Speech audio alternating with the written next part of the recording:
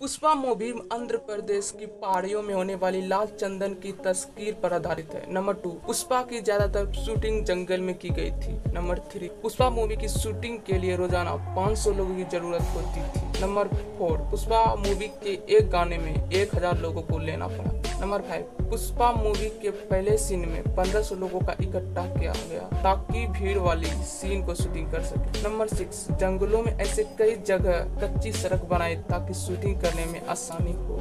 Number seven, चंदन के artificial गट्ठर केरल से शूटिंग कर वापस लौट रहे थे तो पुलिस ने असली चंदन समझकर रोक लिया। तब पुलिस को बताया कि कृत्रिम चंदन है। नंबर एट अल्लू अर्जुन से पुष्पा बनने में दो घंटे का समय लग जाता नंबर नाइन पुष्पा का टीजर टॉलीवुड में 1.5 मिलियन लाइक्स के साथ सबसे अधिक पसंद किया जाने वाला नंबर टेन पुष्पा फ़िल्म 80 प्रतिशत शूटिंग पूरे होने पर मेकर्स ने पार्ट टू बनाने का विचार